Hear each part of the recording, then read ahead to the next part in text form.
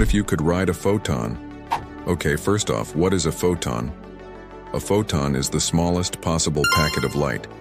It's like a tiny little energy packet that carries electromagnetic radiation, like the kind that comes from the sun. Now, photons don't have any mass, so they travel at the speed of light. That means if you were to ride one, you would be traveling at the speed of light. You wouldn't even need a rocket ship or anything like that. You could just hop on a photon and zoom into outer space. Now, the problem with that is photons don't really have a surface for you to ride on.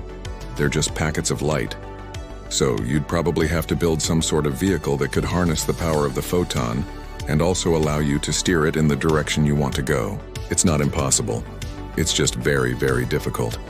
But if you could do it, you could travel to other planets, stars, galaxies, anywhere in the universe. It would be like having a spaceship, but without the need for fuel or anything like that. Just hop on a photon and go.